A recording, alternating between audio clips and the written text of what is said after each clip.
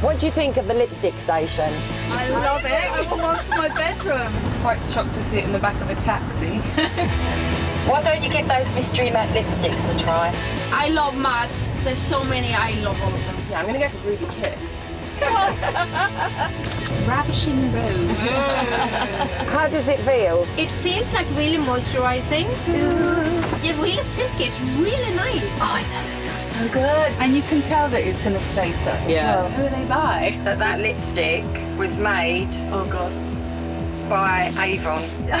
Oh my God. I wouldn't have thought they were Avon. What? No way. Yeah. Right, I know where I'm gonna be buying Well, my exactly. lipsticks from now. Avon's new perfectly matte lipstick is more matte than MAC. Shop online today and get free delivery from a rep. Make up your own mind.